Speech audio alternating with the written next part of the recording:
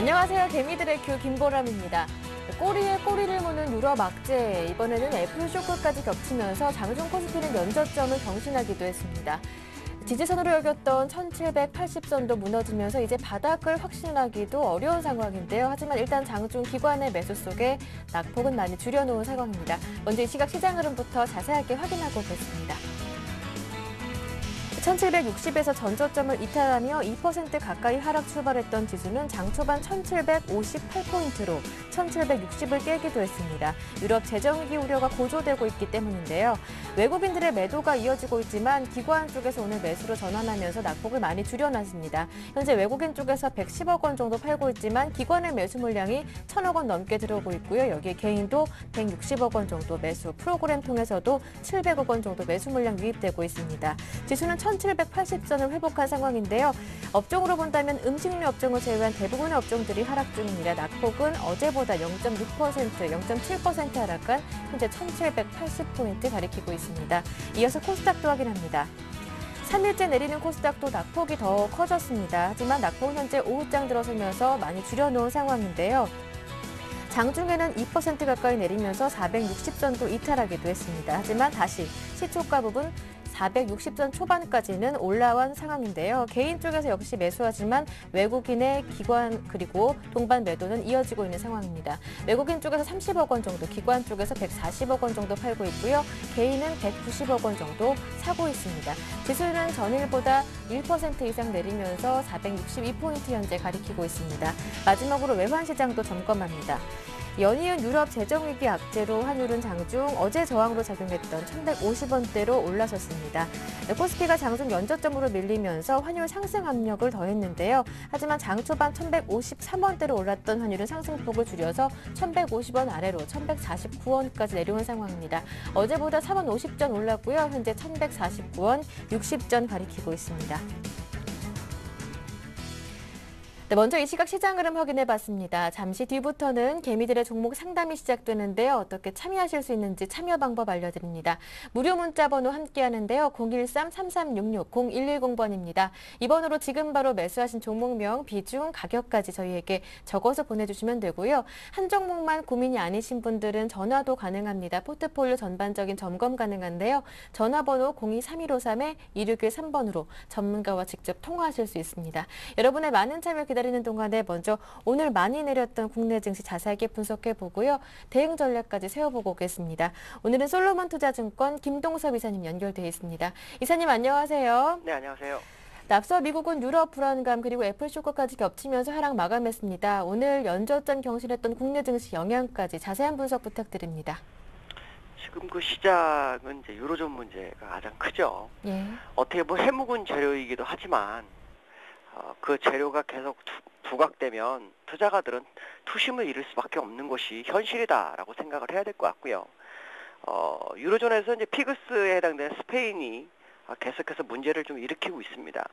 스페인 국채 금리가 10년물이 7.65까지 가서 거의 뭐 디폴트 수준까지 오른 상황이고요. 또 라오, 라오이 총리 그 주변 인물 중에서는 또 스페인이 유로존 탈퇴 가능성도 언급하는 모습이 있었고요. 그래서 어저께 그 스페인 재무장관하고 독일 재무장관이 만나서 뭐 얘기가 또 나눴다고 하는데 무슨 내용인지는 아직 아, 나오질 않고 있습니다. 그러나 어쨌든 스페인 문제가 시장을 자극하는데요. 이 스페인이 지금 그 유로존에서 약 4천억 유로 정도를 구제 금융을 받을 거다라는 뭐 얘기도 루머도 있습니다. 근데 사실 4천억 유로 가지고 스페인을 막을 수 있으면 얼마나 좋겠습니까? 4천억 유로 하고 택도 없죠. 물론 그 돈은 천문학적이지만 아, 우리가 왜 택도 없다라는 표현을 쓰냐면 실제로 그들이 가지고 있는 부채를 계산해 보면 그게 불가능하다는 얘기입니다. 아, 유로존 같은 경우에서 지금 그리스가 어, 2,600억 유로 정도가 필요한 상황인데 스페인 같은 경우는 한 7,600억 유로가 됩니다. 이거는 이제 드러난 물량이라고 보시면 되고요. 아, 그렇지 않고 드러나지 않은 것까지 하면 거의 뭐 1조 유로도 넘을 거라고 보고 있습니다. 아, 만약 또 스페인이 문제가 되면 이탈리아도 더 큰 그 경제 구조를 갖고 있는 이탈리아도 문제가 되기 때문에 이래나 저래나 상당히 좀 어려운 부분에 있습니다. 특히 스페인의 그 프랑스가 가지고 있는 채권을 보면 그리스와 스페인 합해서 4,600억 유로 정도를 갖고 있다고 합니다. 그럼 독일은 얼마나 더 많이 갖고 있겠고 또 이탈리아까지 문제가 되면 이탈리아까지 계산한다면 유로존의 그 EFS 자금과 새로 출범하는 ESM 가지고 또안 되고요. IMF 돈까지 다 쏟아부어도 안 됩니다. 결국은 유로존 붕괴를 하겠다라는 거가 똑같은 거기 때문에 스페인은 제가 봤을 때 대마불사입니다. 결국 스페인은 해결될 것이다. 다만 스페인이 독일에서 하도 반대를 하니까 독일을 압박용으로 지금 아, 활용하는 것이 아닌가라는 생각을 해보고 있고요. 어, 결국 독일에서는 어, 긴축이 아닌 아, 양적 완화 쪽으로 뭔가 선회해야 되지 않겠느냐. 그 중에 하나가 이제 나올 수 있는 게 20이죠. 왜냐하면 ESM이 9월 12일 날 아, 결정나기 때문에 그 사이 문제가 된다면 해결할 수 있는 것은 20이 몇 없죠. 20이 역할론의 확대라든가 아니면은 22가 금리 인하를 하던가 아니면 3차 LTRO 정도로 해주는 정도가 돼서 아, 시장의 방향성, 유동성을 풀어줘서 시장의 방향성을 아, 바꿔주는 역할을 해야 됩니다. 그렇지 않다면 거의 힘들다고 봐야 되겠죠. 아, 그렇기 때문에 지금 사실 스페인의 문제가 시장에 가시화돼서 주가를 흔들고 있는 건 사실이지만 오히려 유로존에는 해결 할 수 있는 기회가 더 빨리 오고 있다라고 생각해 보는 것도 아, 나쁘지 않다라고 생각합니다. 아, 그리스 문제 같은 경우에는 큰 문제가 아니라고 생각했어도 독일에서는 그리스가 유로존 탈퇴하면 재앙이라고 했습니다. 근데 스페인은 더 큰데 스페인을 탈퇴시키게 놔두겠습니까? 그렇진 않다는 얘기죠. 결국 공포를 일으켰지만 결국 방향성은 제시가 될 것이다라고 판단한다면 지금의 공포는 매수 대응으로 시장을 발, 볼 필요성이 있습니다. 오전 아침에 어, 제가 시장 개장 시향을 할 때도 말씀드렸지만 오후장에는 회복을 거의 다 할 겁니다라고 말씀드렸는데 지금 예상 밖으로 많이 올라왔고요. 오늘 외국인들 선물에서 뭐 좀 많이 사주고 있습니다. 이들이 계속해서 아, 매수로 진행하는지 보셔야 될 것 같고요. 그 다음에 지금 유로존에서도 PMI 지수가 6개월째 50 미만으로 갔죠. 경기가 둔화되고 있다는 것을 나타내고 있습니다. 그 얘기는 아, 유로존에서 경기를 사, 어, 활성화시키기 위해서는 어떤 부양책을 써야 되는데 그 부양책 역시 22에 아, 포인트가 맞춰질 거다. 그럼 8월 초에는 통화정책회의에서 아, 추가적인 금리 인하를 하든지 3차 LTRO를 진행하든지 할 확률이 굉장히 크다라고 생각하시면 될 것 같고요. 어저께 독일하고 네덜란드, 룩셈부르크의 신용 어, 등급 전망을 부정적으로 무디스가 하향한 이후로 EFSF 등급 전망을 하향했는데요. 이건 당연한 겁니다. 왜냐하면 EFSF의 기초자산은 독일하고 프랑스고요. 독일의 신용등급이 최상위권을 유지하고 있는데 어, 독일의 신용등급이 최상위 상태에서 EFS, SF의 등급도 최상위가 되죠. 근데 독일의 신용등급이 부정적으로 하향되면 당연히 EFSF도 아, 기초자산을 독일로 갖고 있기 때문에 같이 낮아지는 건 당연한 거니까 이것은 악재라고 보기는 어렵다라고 보고 있고요. 오늘 새벽에 발표한 애플의 어닝쇼크 주당 순이익 9.32달러 나왔습니다. 근데 참 그 예상치 미달이라 그래서 뭐 쇼크라고 그러는데요. 저는 그렇게 안 봅니다. 이게 왜 쇼크입니까? 좀 불경기에 어, 돈을 벌어서 주당 순위를 9불 이상 가져갔다면 그만큼 잘했다라는 얘기입니다. 자기들이 예상치를 높여놔서 문제가 된 것뿐이지. 결국 잘 경기를 어, 경제를 잘 이끌어갔고 그래서 애플은 어, 순익을 냈다라는 거에 더 포인트를 맞추는 건 맞지 않나 이렇게 판단을 하고 있습니다. 오늘 그 시장의 모습을 보면 어, 외국인들이 현재 현물을 매도하고 있죠. 1,100억 정도 매도하는데 제 생각에 막판에 현물에 들어올 것 같습니다. 왜냐하면 어, 누적으로 보면 외국인들이 더 이상 팔 수 있는 공간이 없습니다. 그 얘기는 언제든지 매수를 할 수 있는 공간이라고 보여주고 있죠. 그게 며칠 전부터 해서 나타났는데 그것이 이제 보면 현물과 선물을 번갈아 가면서 모습을 보이고 있다. 그렇다면 오늘은 현물을 어, 1,100억 팔고 있지만 선물을 2,000억을 사서 일단 어, 방향성에 대해서 수급의 방향성이 변화가 될 수 있는 것을 알려주고 있다는 시그널을 보여주고 있어서 매우 긍정적이다라고 판단하고 있고요.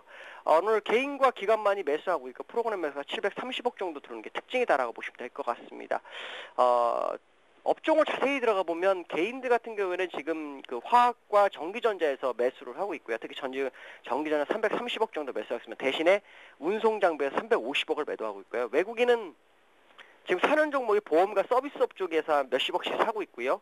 나머지는 매도를 하고 있습니다. 특히 어, 전기전자 3천, 아, 380억, 그다음 운송 장비에서 260억을 매도하고 있고요. 기관들은 지금 보시면은 천억 정도를 매수하고 있는데 운송 장비 업 종에서 한 650억 정도 매수하는 게 특징입니다. 종목들을 보시면 삼성전자 마이너스에 어, 2%대까지 갔다가 지금 약보합까지 올라온 모습이고요. 시가총액 상위 종목 대, 대, 대체로 약보합의 모습. 이 모습을 봤을 때는 오후장 2시간 남았지만 지수가 플러스도 갈 수 있다라는 걸 아, 나타내는 것이 아닌가라고 판단하고 있고요. 특히 아시아 시장에서 일본과 우리나라를 제외하고 나머지 나라는 그래도 아, 빨간불이 보이기 시작했다라는 걸 봤을 때 지금은 저점 매수 유효하다라고 판단하고 있습니다. 일단 유럽 문제 공포가 짙어질수록 대응은 빠를 수 있다. 애플의 실적 또한 쇼코스는 아니다. 걱정할 필요 없다 얘기해 주셨는데요. 자 그렇다면 국내 증시 자세한 오늘장 투자 포인트까지 짚어주신다면요. 오늘 개파락이 있었기 때문에 네. 어제 저점은 메워줘야 됩니다. 그게 1781포인트였는데요. 네. 어, 예상대로 지금 메워줬고요. 어, 가장 좋은 것은 오늘 어, 플러스로 끝나는 게 좋다라고 보고 있습니다. 특히 어, 계속해서 말씀드린 것 중에 하나가 외국인의 선물 매수 꼭 필요합니다. 외국인들이 선물 매수를 하지 않으면 저게 해지라고 보기에 좀 부담스러운 자리에 있기 때문에 외국인들 선물 매수를 해서 어, 2만 개, 누적 매도 2만 개 밑으로 내려오는지를 확인하시면 될 것으로 보이고 있고요. 아, 시장의 방향성이 굉장히 어, 어렵습니다. 어렵지만 아, 항상 이런 그 어두 어려운 그 상황에서 어두운 터널을 지나고 나면 어, 새로운 새벽이 돌아올 수 있다고 생각한다면 지금은 아주 좋은 매수의 기회가 될 수 있다라고 판단하고 있습니다. 네. 네, 지금이 아주 좋은 매수의 기회일 수 있다라는 말씀까지 들어봤습니다. 오늘 도움 말씀 잘 들었습니다. 고맙습니다, 이사님. 네, 감사합니다. 네, 지금까지 솔로몬 투자증권 김동섭 이사님의 말씀을 들어봤고요. 이어서 개미들의 종목 상담이 시작됩니다.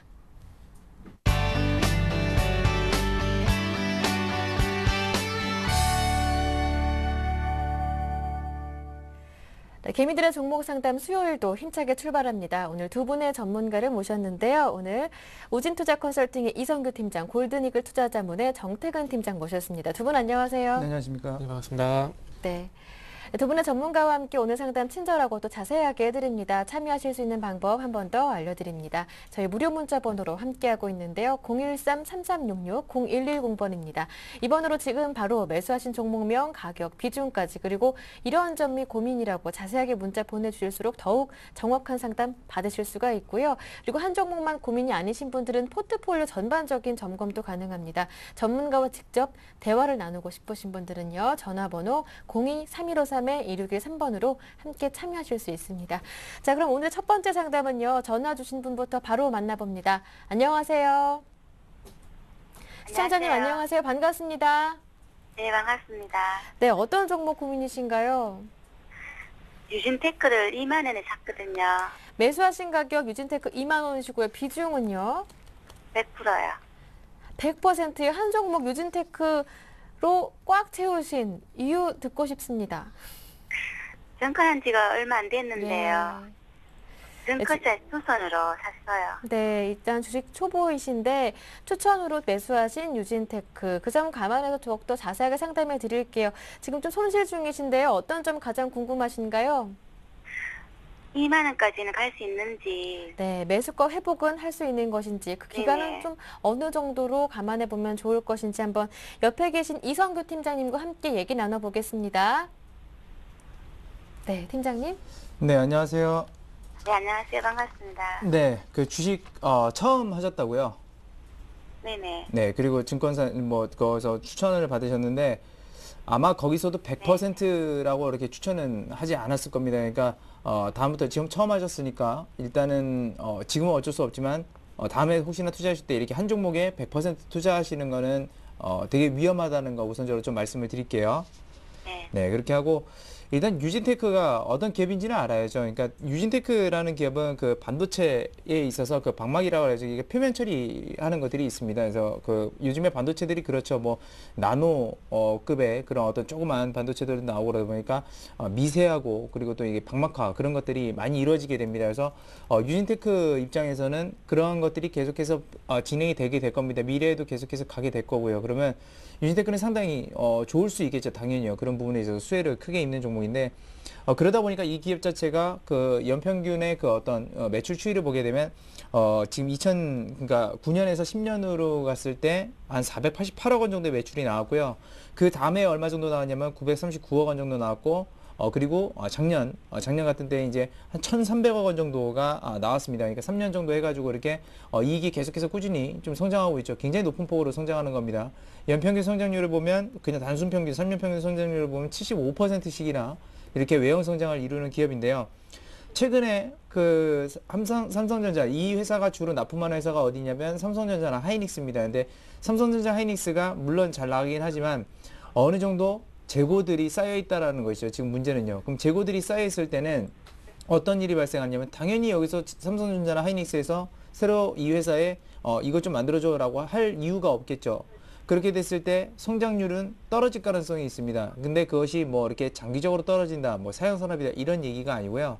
단기적으로 떨어진다는 것이요. 그러면 2분기나 1분기, 2분기에서 어느 정도 삼성전자 하이닉스가 어, 그 재고가 누적이 된 상태입니다. 그러면 그것을 해소하는 데는 보통 일반적으로 뭐 3개월, 그 오래 걸리게 되면 뭐 6개월. 근데 연말에 성수기 시즌이 있기 때문에 그 정도로 반영했을 때는 어, 대략적으로 3분, 아무리 못해도 1분기 정도는 한 분기, 그러니까 3개월 정도는 이 회사의 주가는 그렇게 크게 재미없다라는 어, 그런 얘기가 나오게 되겠죠. 그렇기 때문에 어, 지금 현재, 그러니까 7, 8, 7월 달 지금 진행되고 거의 다 끝났고요. 이제 8월 달, 9월 달 되게 됐는데 8, 9월 달에 어, 그렇게 주가에 큰 탄력세는 어느 IT가 엄청나게 성장하지 않는 이상 이 회사는 크게 어, 올라가지 못할 가능성이 높습니다. 그래서 차트를 잠깐 보면서 설명을 드리면요. 지금 아까 말씀드렸던 부분이 뭐였냐면 그 매출액 추이로만 볼게요. 자, 2009년에서 10년으로 갈때 어, 2,500원, 평균 한 2,500원 정도 되죠. 이것이 얼마 정도까지 갔냐면 한 7,000원대까지 올라갔습니다. 평균 주가가요. 그리고서 그때 이제 두 배로 성장을 했죠. 근데 이 시기에 50% 성장을 했습니다. 근데 이것을 미처 이 시기까지 알아채지 못하고 있다가 연말에 삼성전자 올라가면서 같이 따라 올라간 거예요. 그러니까 뭐냐면 오버슈팅 나온 거죠. 오버슈팅 나왔고 작년 정도의 그 캐파를 유지하는 상황에서는 어, 사실상 아, 손절가 아니, 손절가라기보다는 어느 정도 선에서 머물러 있어야 되냐면 한 15,000원 선 정도에는 머물러 있어야 됩니다. 그런데 어, 물론 그 이하로 떨어질 수도 있고 주가가 그렇죠. 그러니까 일단은 첫 번째로는 어, 손절가를 제가 15,000원 정도 선에서 어, 좀 정해 드릴게요. 그래서 그 이하로 떨어졌을 때는 또 무슨 문제가 있을지 모르니까 더 이상 벌주가 안 나올 수도 있고 그런 거니까 아, 좀 그런 점들 참고하시기 바라겠고요. 목표 주가는 그냥 단순히 이 회사의 성장률로만 봤을 때는 어, 매수가 부분인 2만 원 선까지는 어, 올해 실적으로는 가능할 것으로 예상되고 있습니다. 그래서 일단은 그 위에서 매수하는 거는 굉장히 좀 위험한 시기라는 걸 좀 말씀드리면서 목표 주가는 2만 원 선, 손절가 15,000원 선 제시해 드릴게요. 네, 매수하셨던 가격까지는 충분히 회복할 수 있다라고 말씀해 주셨는데 어떻게 고민 해결되셨나요? 네, 근데 8월 9일까지 기다렸다가 네. 만약에 2만 원 안 올라가면 예. 뭐 해야 될까요? 네. 8, 9월 달에는 못 올라가고요. 올라갔을 때가 언제, 올라갈 때가 언제냐면 그래도 4분기, 그러니까 아, 10월 달, 11월 달, 12월 이쯤이나 1, 2월 달 그쯤에 어, 이 반도체 업황이 좀 성수기니까 그쯤에 이제 올라간다는 얘기가 되겠고요. 당연히 못 올라갈 수가 있습니다. 왜냐면 매출 추이가 워낙에 높았던 기업이 매출 추이가 저만큼 안 나오게 되면 주가는 못 올라가게 돼 있어요. 그래서 누적이 이익이 돼야지만 천천히 올라가는 거거든요. 그래서 어, 장기로 보실 수 있다고 한다면 어, 보유하고 가시는 관점에서 드릴게요. 기업이 뭐 그렇다고 해서 엉망진창인 기업도 아닙니다. 상당히, 탄탄한 기업이니까 손절가만 딱 지키시면서 가시면 크게 무리 없을 거라고 어, 생각하니까 그 점 참고하시기 바랄게요. 네, 네, 어떻게- 감사합니다. 네, 답이 되셨습니까? 네네. 네, 오늘 전화 주셔서 감사드리고요. 나중에 또 궁금한 점 생기실 때 바로 문자나 전화 주시길 바랍니다. 오늘 참여해 주셔서 고맙습니다. 네, 고맙습니다. 네. 첫 번째 상담 전화로 받아봤고요. 이어서 문자로 들어온 종목 살펴보겠습니다. 3532번님께서 문자 주셨는데요. 엄청 더운데 건강 유의하시고요. 원익이라고 쓰였는데 가격대를 보니까 원익 IPS가 맞을 것 같아요. 7,255원 비중이 30%라고 하셨고요. 이화전기 1,020원에 비중은 50% 부탁해요 하시네요. 어떻습니까? 어, 두 종목 해드리나요? 네. 아, 자, 일단 원익 IPS 안 좋은 것부터 좀 보도록 하겠습니다. 자, 오늘도 한번 시작을 해볼게요. 그 원익 IPS 같은 경우에 최근 상당히 좀 많이 빠집니다. 많이 빠지고요. 음, 어떻게 본다면 그 삼성전자의 모바일 애플리케이션에 대한 애플리케이션 수요에 대한 가장 큰 기업이라 좀 보시면 될 것 같아요. 근데 어, 그 부분 어쨌든 그 부분 좋은 얘기고 좀그 주가가 현재 안 좋기 때문에 안 좋은 얘기를 좀 드려야 될 것 같은데 자, 요거는 화면 좀 같이 보시면서 말씀드릴게요. 자, 화면 좀 같이 보면은 삼성 투자 뭐 장비주도 날개 없는 추락 이렇게 얘기가 나오고 있는데 자, 그 이 얘기의 핵심이 어떤 부분이냐면 지금 현재 그 삼성 디스플레이 있죠. 삼성 모바일 디스플레이 합쳐졌는데 이쪽에서 지금 현재 AMOLED 쪽으로 그 공장 A3 라인, A2 라인에서 A3 라인으로 그 증설을 했는데 이 증설에도 증설을 했음에도 불구하고 여기와 관련된 투자 장비를 납품하는 회사들의 주가가 계속해서 빠지고 있다는 겁니다. 근데 그 얘기가 왜 나오면 왜 나오냐면은 그 신규 증설에 나왔던 장비 수주를 하지 않을 수도 있다는 그런 얘기가 현재 나오게 되면서 관련 종목들이 이제 빠지고 있어요. 그래서 거기 포함된 게 SFA, 원익 IPS, 신화인텍 이렇게 얘기가, 얘기가 나오고 있습니다. 근데 저도 확인을 저도 솔직히 못했어요. 직접적으로 확인을 못했는데 지금 A3 라인이 7월달에 증설된다고 제가 그 종목 상담할 때마다 한 번씩 계속해서 말씀드렸고요. 7월달에 증설이 되고 9월달부터 장비 발주가 되면서 수주가 되면서 발주가 될 거라는 그런 얘기를 드렸던 저도 기억이 있습니다. 근데 저는 그 이 얘기는 들으셨는데 이게 이게 문제가 아니라 그 얘기를 드리고 난 다음에 문제점이 뭐냐면은 제가 그 회사에 확인한 건뭐 아니지만은 지금 A3 라인에 들어가는 그 장비들이 국산이 들어가는 게 하나도 없답니다. 그러니까 즉 말하면은 국산화 장비가 전혀 없고 외산 장비가 현재 그 라인 증설 쪽으로 다 들어갔대요. 그렇다 보니까 지금 현재 이와 관련된 뭐 SF라든지 그리고 원익 IPS 같은 종목들이 현재 타격이 상당히 크게 나오고 있다는 겁니다. 그래서 이런 얘기가 나오다 보니까 수- 현재 수급도 보게 된다면은 어, 요 종목 같은 경우도 마찬가지로 날짜는 어떻게 볼까요? 5월 14일부터 아닙니다. 그 가장 최근부터 볼게요. 6월 29일부터 지금 현재 기관의 매도가 지속적으로 나오다 보니까 원익 IPS도 마찬가지로 주가 이런 현상이 생긴다는 겁니다. 근데 원익 IPS 같은 경우에는 아시다시피 반도체 장비 관련 업종이잖아요. 근데 왜 원익 IPS가 관련이 있냐면 원익 IPS가 신성장 동력으로 그 300억을 들여가지고 충남 아산에 에모 LED 그 사업 단지를 그 공장을 만들었어요. 300억을 들여가지고 충남 아산에. 근데 이렇게 투자를 해놓은 상황에서 원래 이렇게 투자를 할 때는 어느 정도 발주가 될 것이란 그 부분이 반영이 되기 때문에 이렇게 증설을 하거든요. 근데 이렇게 300억 원 들어가지고 증설을 했는데 지금 현재 장비 수주가 안 될 것이다. 그리고 제가 좀 전에 말씀드렸던 지금 현재 A3 라인에 구상 장비가 하나도 안 들어가 있다. 그런 얘기들이 나오다 보니까 지금 이제 기관의 매도가 나오고 있고 SFA뿐만 아니라 IPS 주가도 지금 이렇게 곤두박질 치는 겁니다.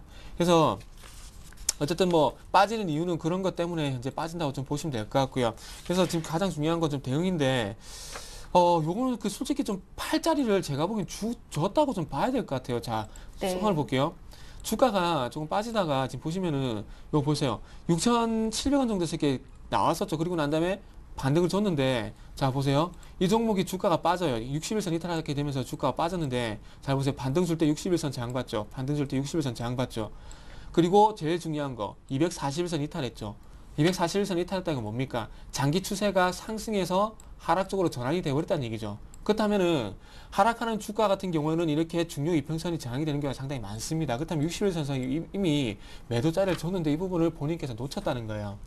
자 여기서 반등을 줄지 안 줄지는 저는 솔직히 모르겠습니다. 모르겠는데 제가 항상 그 말씀드리죠. 반등 시 매도 제일 싫어하는 말이라고. 반등 언제 줄지 알고 매도를 하라. 반등 시 매도란 그런 표현을 쓰겠습니까?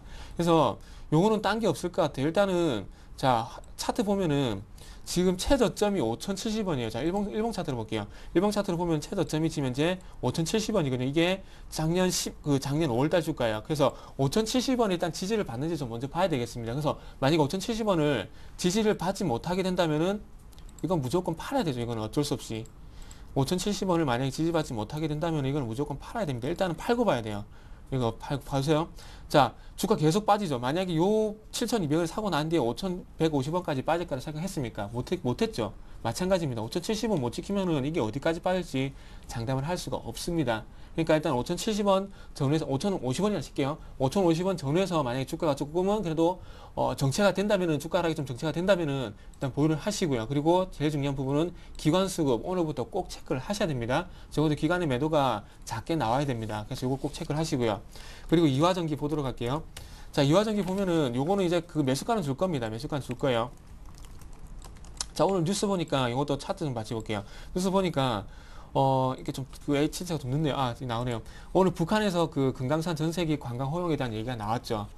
뉴스는 이것 때문에 나와가지고 오늘 상한가 갔다가 지금 약간 풀렸는데, 그, 이, 부- 이 종목 같은 경우는 중요하게 보셔야 될 부분이 오늘을 보시면 안 돼요. 오늘 보시면 안 되고, 자, 여기서 사- 오늘 상한가 갔지만은 그 전부터 주가가 들썩였죠. 왜 주가가 남북 경협주가 움직일까요?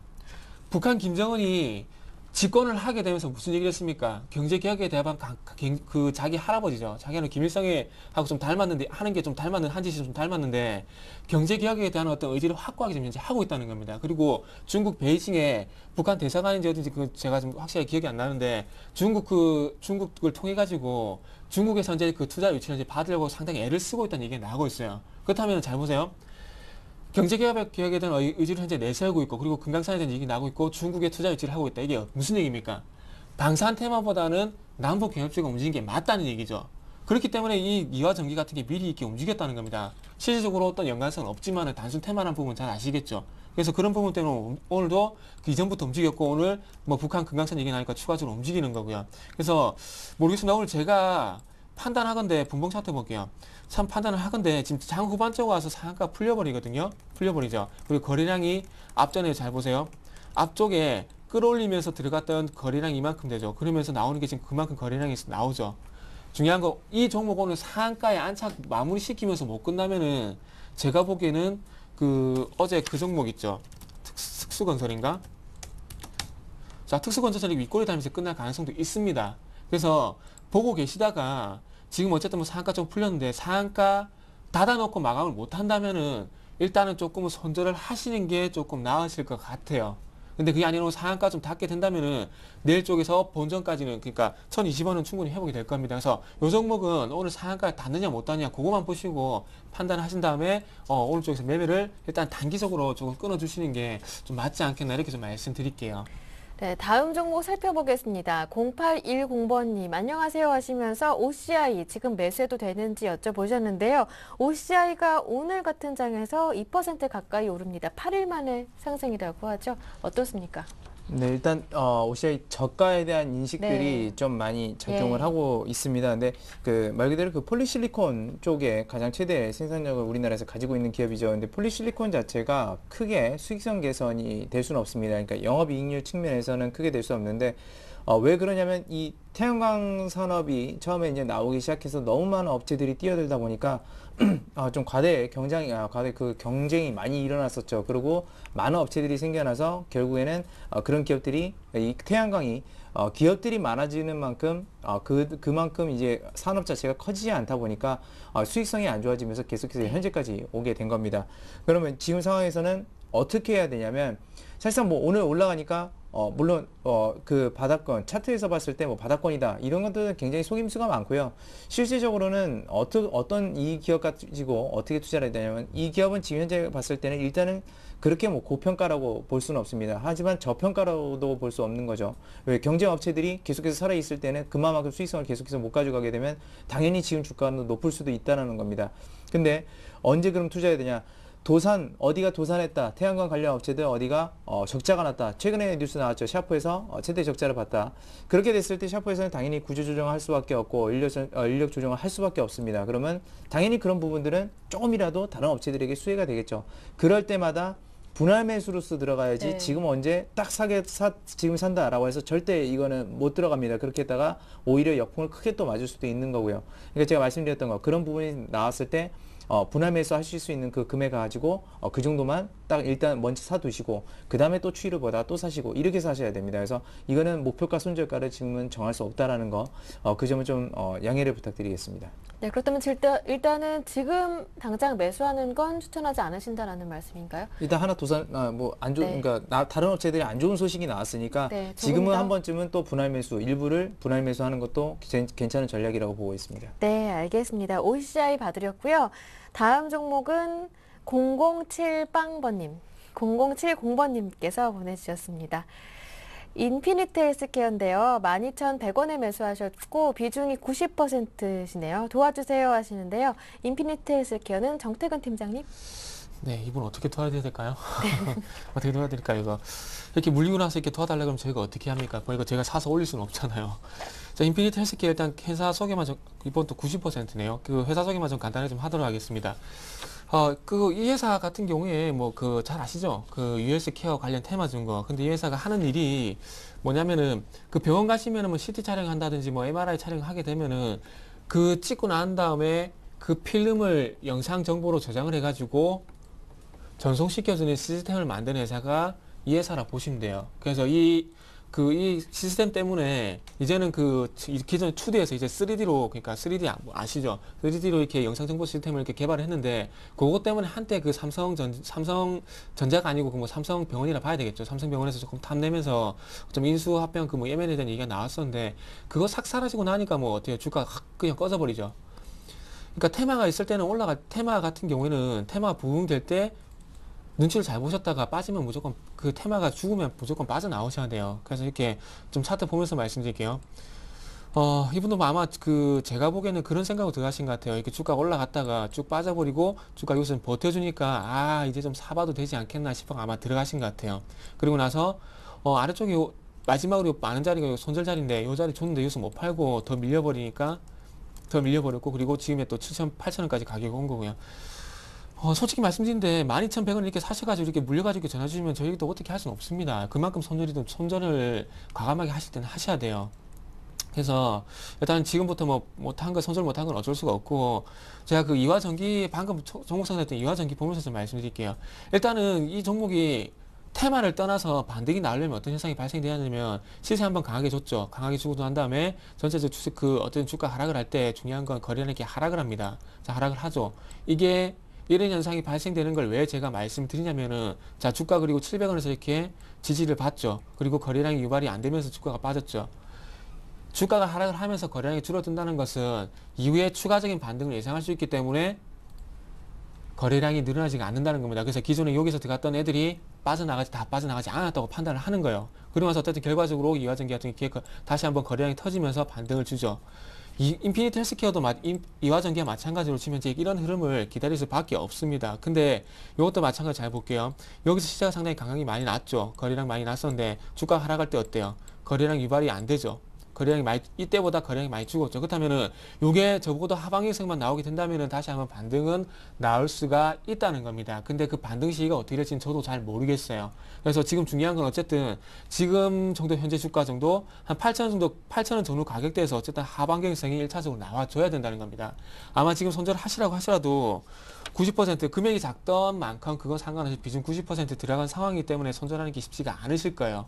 그래서 일단은 팔라고 말씀을 안 드릴게요. 팔라고 말씀을 안 드리는데 대신에 좀 전에 이화 전기에서 보셨듯이 일단 거래량 유발이 안 되고 있습니다. 그다음에 1차적으로 2차적으로는 이제는 하반경성이 나와야 돼요.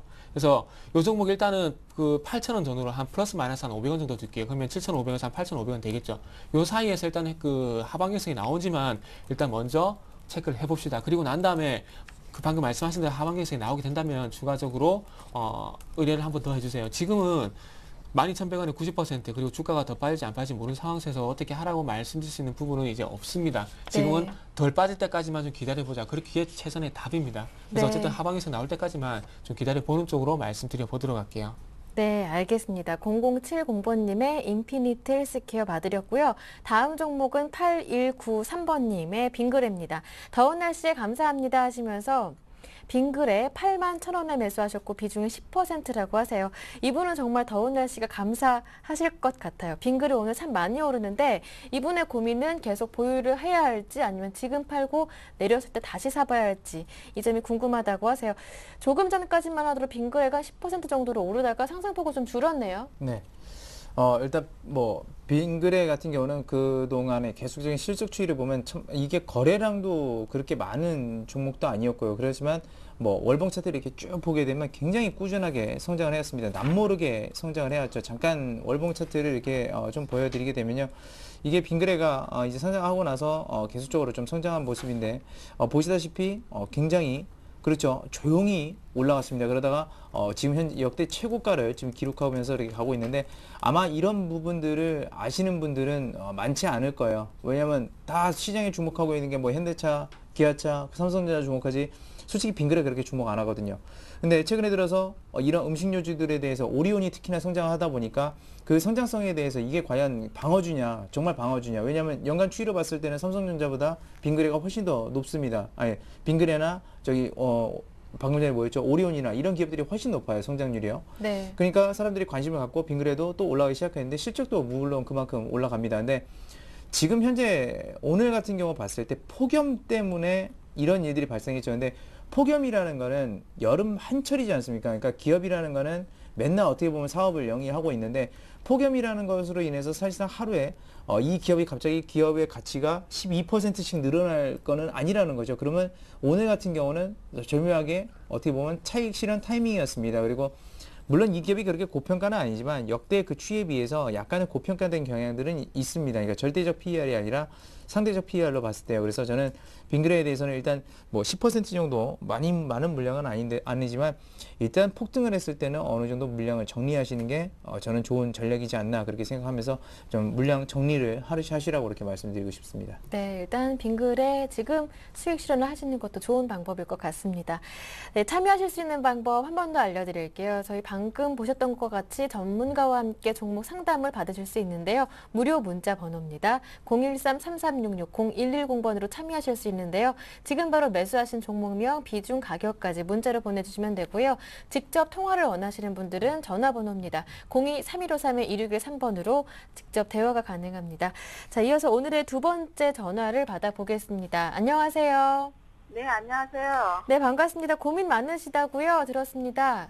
네, 네, 어떤 종목이신가요? LG전자를 네, 어 6만 8천 원에 40% 갖고 있다가 6만 8천 원에요. 40% 갖고 있다가요. 40% 갖고 계시다가요. 네, 오전에 어 5만 6천에 제가 한 30%는 매도를 했거든요. 5만 6천 원에 30% 비중을 정리하시고요. 정리해 볼게요. 애초에 6만 8천 원에 매수를 하셨어요. 비중 40%셨는데 오늘 아침에 5만 6천 원 가격에 30%를 정리하시고 그럼 지금은 10% 비중만 갖고 계신 거네요. 네, 네, 네. 네, 알겠습니다. 그럼 6만 8천 원 그거를- 매수하 네.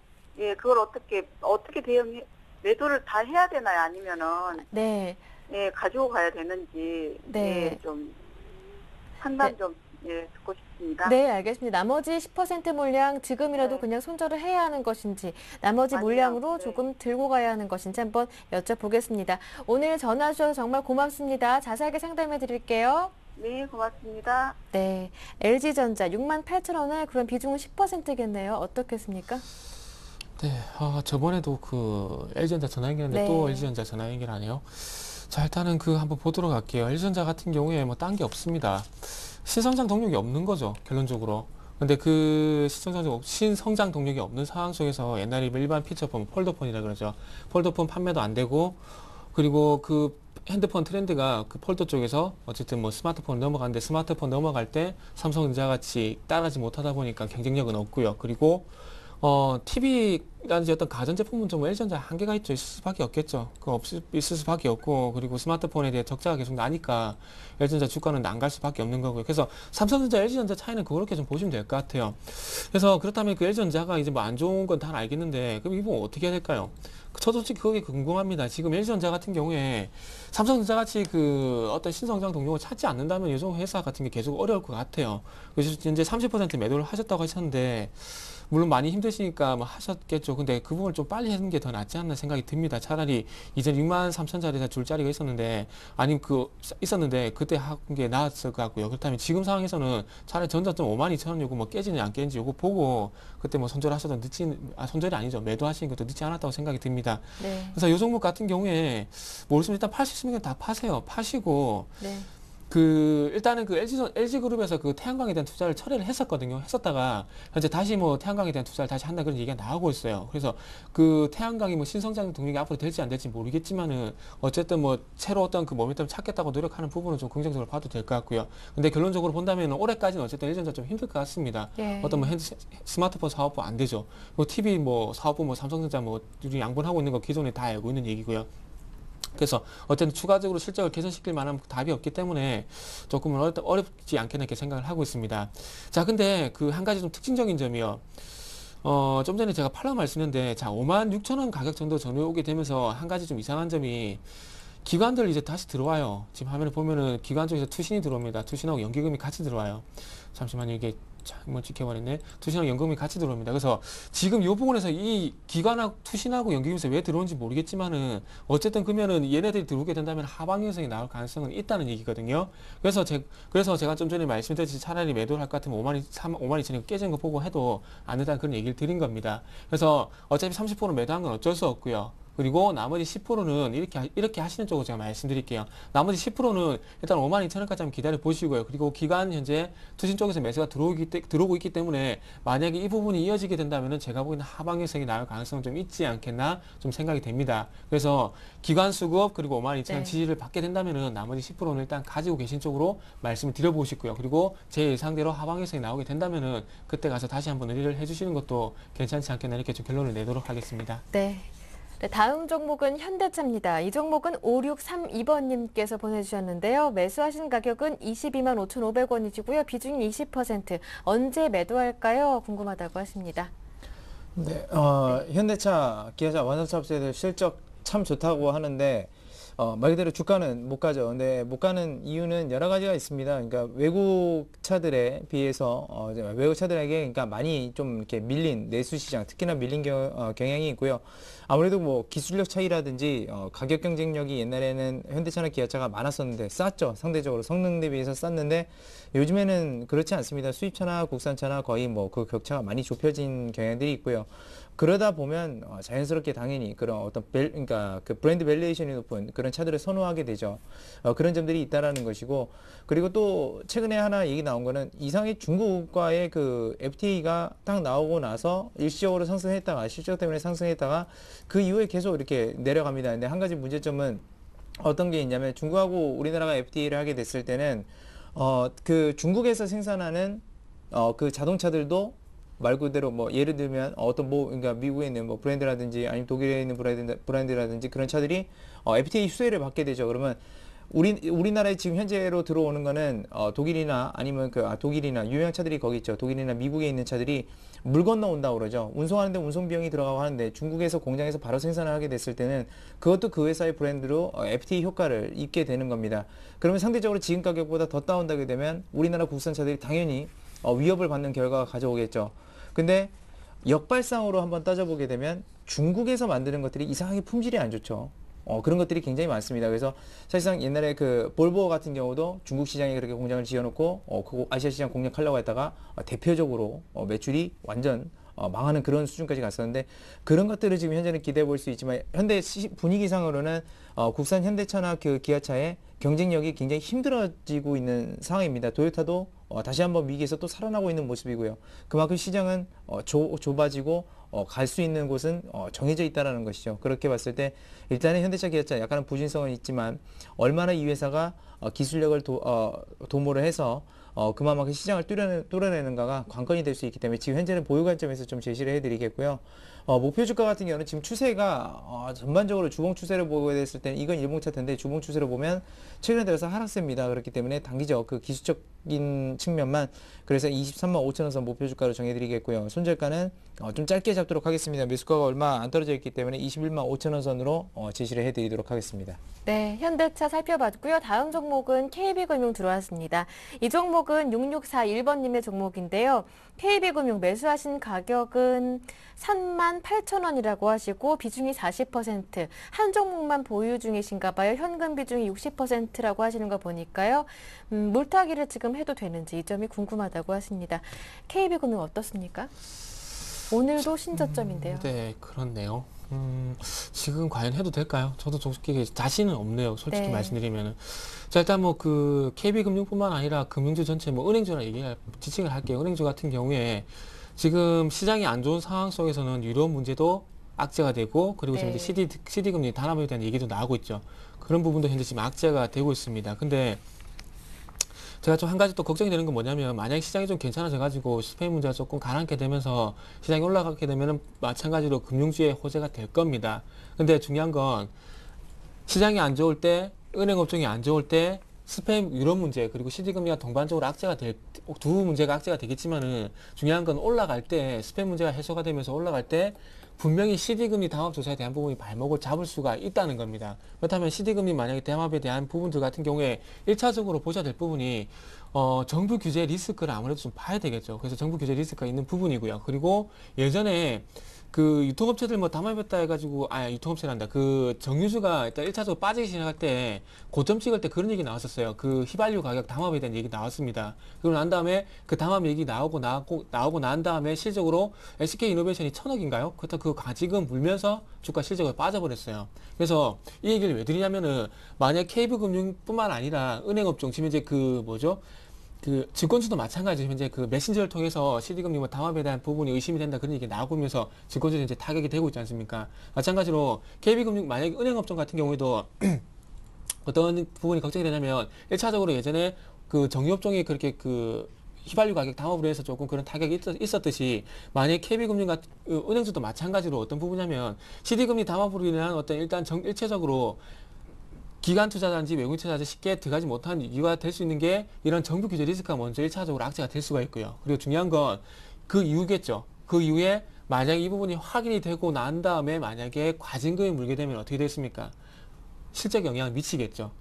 예전에 정유주가 고점을 찍고 빠질 때 작년 8월 작년 8월 달인가요? 하여튼 그때 정유주가 고점을 찍고 빠질 때 그런 얘기가 나왔는지 안 나왔는지 한번 확인해 보세요. 그, 그런 얘기가 나오면서 공격에도 고점이 됐습니다. 근데 그것 때와 지금 KB금융과 틀린 점은 고점과 저점인 그 차이뿐이 없는 거고요. 그래서 이런 부분들이 만약 CD금리에 대한 다음에 대한 얘기가 부각이 되게 된다면 무조건 어쨌든 추가 상승에 제한이 될 수가 있기 때문에 어 조금은 걱정이 된다는 부분을 말씀드려보고 싶어요. 그래서 3만 8천 원에 그 40만 원, 40% 정도 이제 그 비중이 되시는데 자 일단은 그 모르겠습니다. 만약에 내일 쪽에서 시장이 1780포인트를 만약에 회복하지 못한다면은 자 주가 차트 볼게요. 1780포인트 계속 얘기를 많이 지켜줬었는데 이 부분을 이제 어쨌든 회복을 못하면서 마감을 하게 된다면은 제가 보기엔 모르겠습니다. 일단은 어 바닥에 대한 어떤 그 확신이 없기 때문에 만약 바닥 오늘 만약 바닥에 확신이 든다면은 만약 물타기를 하라고 말씀드리겠죠. 하지만 그 부분이 아니기 때문에 일단 물타기는 일단 자제를 하자고 말씀드려보고 싶어요. 그래서 차라리 어 모르겠습니다. 일단은 반등을 줄 때 조금 더 주고 사더라도 그때 좀 따라가시는 게 나을 것 같아요. 그래서 지금은 어쨌든 어 조금은 그 반대를 한다고 좀 말씀을 드릴게요. 그래서 조금만 한 이틀, 한 3일 정도만 일단 참으신 다음에 다시 한번 어 결정을 하시는 게 좀 좋겠다. 이렇게 좀 정리를 하도록 할게요. 네, 오늘 상담은 KB금융까지 여기에서 마무리 짓겠습니다. 오늘 두 분의 전문가와 함께 했는데요. 이성규 팀장, 정태근 팀장 두 분과 함께 했습니다. 고맙습니다. 감사합니다. 감사합니다. 오늘 개미들의 큐 순서는 여기에서 마무리 짓겠습니다. KT 올레 IPTV로도 개미들의 큐 서울경제TV 시청하실 수 있으니까요. 여러분 앞으로도 많은 관심 부탁드립니다. 저는 내일 다시 뵙겠습니다. 함께해 주신 여러분 고맙습니다.